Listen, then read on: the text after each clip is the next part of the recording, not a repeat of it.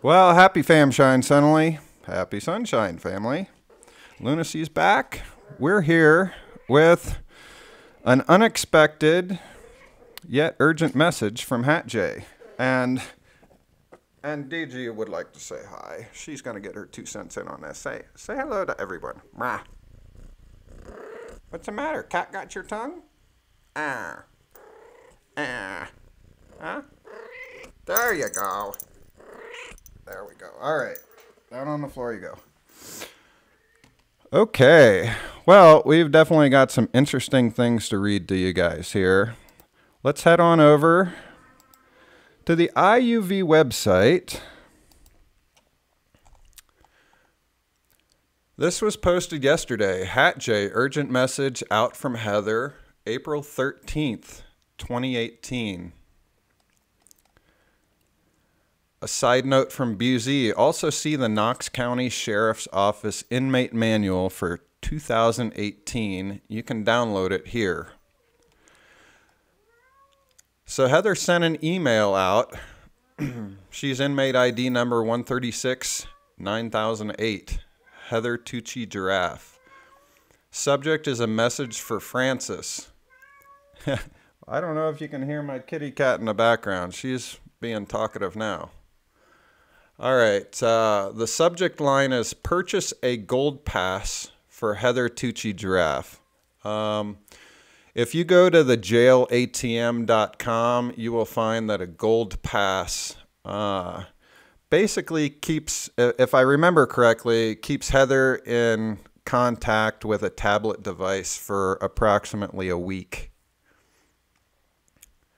So to Francis Lloyd Esquire from Heather Ann Tucci-Jarraf. Let's can we increase the size of this text for everyone out there in YouTube land? All right. A suspect incident involving the officer's supervisor's mental health or MH department or MH official presiding at RDWDF and this is the Roger D. Wilson Detention Facility. That's what that acronym stands for. so uh, there was a suspect incident that occurred there today. The purpose of this email is to keep you and all teams informed. Documentation slash record of events, actions, and inactions regarding human rights abuse operations and identification of said operations and perpetrators for further appropriate action under applicable executive orders and universal laws. Yesterday, the toilet in our cell at the Roger D. Wilson Detention Facility, uh, 2A, I believe, is the block, and 111 is the cell number. So their toilet flooded their room it appeared to be from an incoming pipe, not from an outgoing pipe leakage. However, I did call the emergency in on the cell intercoms. Officer Stringer responded immediately to assess and officially take action. Eventually, an unidentified official made the decision to move us to Roger D. Wilson Detention Facility 2D slash 110. So they moved from the A block 2A over to 2D and into cell 110. This is the maximum disciplinary pod. Isn't it interesting that uh, the county jail that I used to work in, uh, the disciplinary block or the high security block was also named D. It was called D block. So uh, they moved them to the max disciplinary pod until it was fixed or until they were reassigned to a different open pod. Her roommate and her, excuse me, my roommate and I were not moved to D pod due to any bad behavior or disciplinary action. When we arrived in D pod, we were not allowed an hour out due to the fact that we had had time out in our previous pod, nor were we able to get cleaning supplies to clean the cell prior to or after moving. I received a roll of toilet paper upon entrance. Today, I unexpectedly received my period approximately two weeks in advance of its usual timing. I did not have any feminine hygiene products due to the move. I bled through my uniform and I expected to bleed through the second and last uniform in my possession if I was not immediately given feminine hygiene products. I first used normal course methods to gain the pod officer's attention that was on duty. She did not hear or see me with the disciplinary inmates that were out for their hour. I used the cell intercom to notify them of the emergency of bleeding through my uniforms, requesting pads immediately to avoid bleeding through my last uniform. And the pod officer could not hear or see me so that I could get them. The officer, Warren, in all caps and in parentheses here, I'll highlight that, on the cell intercom responded, okay, okay. Approximately no more than five minutes later, Sergeant Wolf showed up at the pod officer's desk, and then pod officer Chow opened the cell door and said, I was called to medical. I indicated the stained clothes piled on the floor that I had just hand washed, why I had used the cell intercom to request the pads as described above, and that I did not request medical or a sick call. I stated there has been a misunderstanding and that I obviously did not make a request for medical.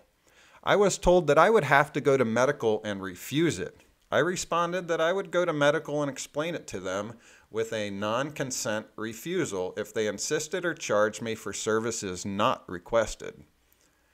It was after that Officer Chow told me it was actually mental health I was being called for. I asked, How is a bleed through and a request for pads get confused for a call to see a mental health official. In parentheses here, important note I have personally observed other inmates' request said, and it took between four to six weeks for a purported mental health official to meet with them. so I think what she's trying to say here is an important note other inmates have requested mental health officials, and it took four to six weeks for them to get one in there. I told Officer Chow that I did not request to see medical or mental health official. Officer Chow responded that she didn't know what was going on just to go to the slider. Officer Chow informed us that Roger D. Wilson detention excuse me, detention facility 2C and 208 had similar toilet breakage after we did. Those inmates did not get moved to D-Pod. Sergeant Wolf escorted me to the slider from the pod. I opened and held the slider door open for the sergeant as she pushed packs of toilet paper and a large box of pads into the hall. Sergeant asked Officer Warren if she was ready for me, and Officer Warren yelled back, Not yet, or similar to that effect. Sergeant Wolf left me in the slider without pads. During the approximately no more than five minutes in the slider, I asked officers Warren and Chow for pads and was not given any at this time. Officer Warren opened the door and I spoke with her at the central desk in the main hall in front of 15 plus waiting inmates. I immediately explained to Officer Warren what had happened, each specific and particular detail as summarized above, and requested to be given pads immediately, again, due to current soiling of my last uniform.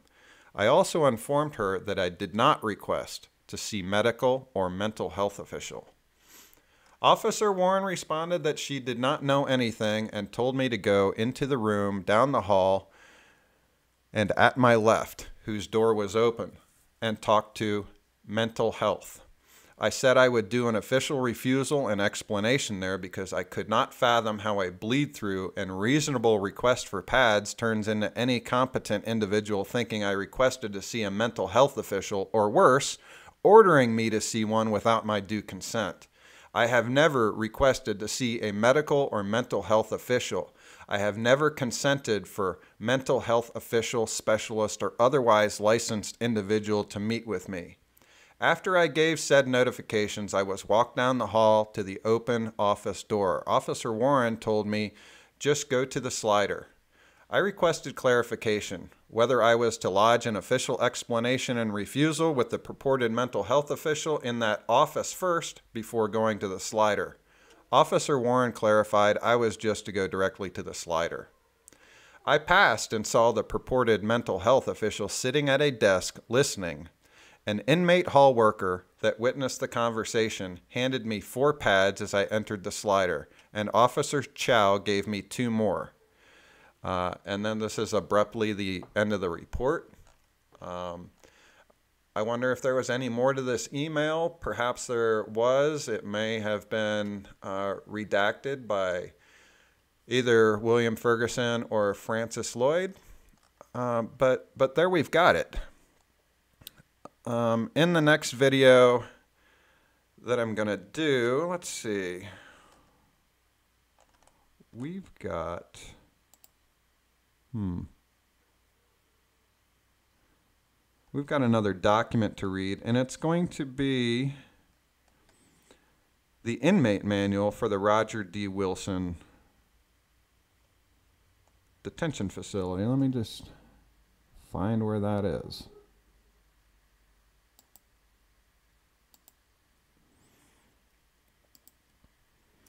All right.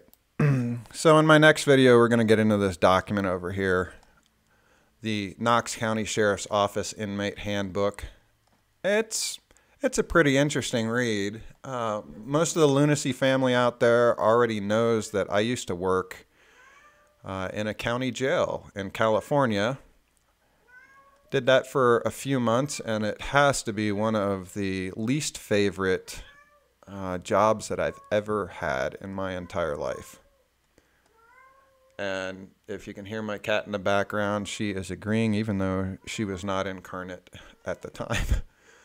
um, so we're going to get all these policies and procedures out to the light of day, and everybody's going to know exactly the procedures and policies that the Knox County Sheriff's Office is supposed to be using, purports to be using at the Roger D. Wilson uh, detention facility in Knoxville, Tennessee.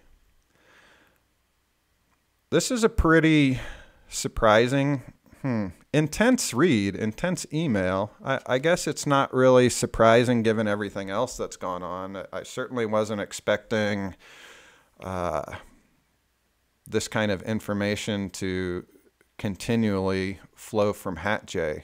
Um, our correctional facilities, our court systems, our legal justice systems, all of it's broken entirely backwards, upside down, inside out, broken. And it's time to walk away from it all.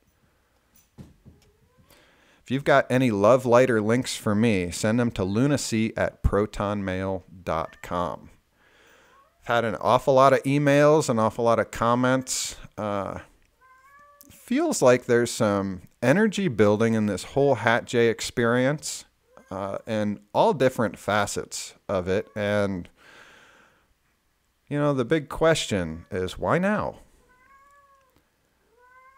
Why now? I love you guys a lot. We will be back and we're going to read through this uh, Knox County Sheriff Inmate Manual. Peace out.